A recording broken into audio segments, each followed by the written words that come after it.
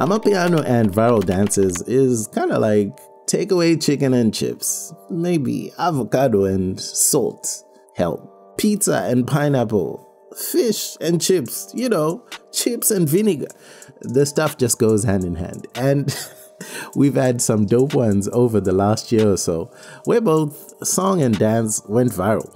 Probably the biggest one is Tshwala Bam by any means right now, and that could be recency bias, I don't know. But the dance basically sold the song. Mnike by Tyler ICU had an infectious viral dance as well. Yahyuppiyah by Uncle Waffles was ultra, ultra TikTokable. Manzinte has been a local darling for months now on the local South African scene, and there's plenty we could talk about actually. But, but, what if I told you there's an Amapiano dance doing the rounds, but you haven't seen it yet? So, buckle up. This is the no BS version. There's one Amapiano dance that's super viral in South Africa right now, but hasn't crossed borders yet because the only way you'd probably know about it is if you're really, really tapped into Amapiano culture, or you go to gigs in South Africa and encounter the particular artist and dance rather than the dance itself being attached to a particular song. And that's what makes this dance so unique. The discoverability pipeline has been different to most other dances we've had because they've really been attached to one particular song from the onset but this one isn't quite attached to one yet. Let me explain. It's actually this particular artist's signature move that has now become a viral dance that a lot of Amapiano lovers have picked up on. But there's something else. He's been clever enough to tap into how much people love his moves using this particular dance to perform a song he did with Kabza De Small and DJ Maphorisa. The song is not even out yet and he has been performing it for months. That artist is none other than Scotts Maphuma, and here's his signature dance that people are calling Iwishi Wish. After the song, that's not even available anywhere.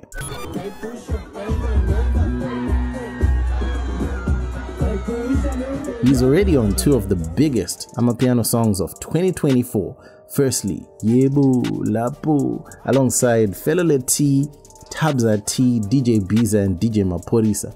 And how many days we get good with Cowboy, Mellow and Sleazy, LT, and Novatron. Yo, two huge, huge songs for 2024 in the Amapiano space. But Scotts Maphuma is no stranger to other hits that include Clishenga Poster and Kutuzile as well. His musical success means we also got exposed more to his dancing skills, and that's part of why Scotts Maphuma Dance, aka Iwishi Wish, is already huge and will become even bigger once the song is out. What do you think about it? Look, for me, I actually have a prediction. I think going into December, and you know how December is in South Africa, there's two dances people will be doing in the Amapiano world. And that's the Scotts Maphuma dance, aka Iwishi Wishi. And look, I really think they're gonna drop this song in November, like officially, officially. So we'll see how that goes. And then of course, Manzinte. Like too many people have already picked up on it, and they're doing the Manzinte's dance to other songs now. So that's my prediction. Those two songs, um, well, those two dances. That's December. How about yours? What's your prediction? Let me know in the comments below. Before I dip, check out my website mjomoto.com, mjwemoto.com. Otherwise, that's it for me.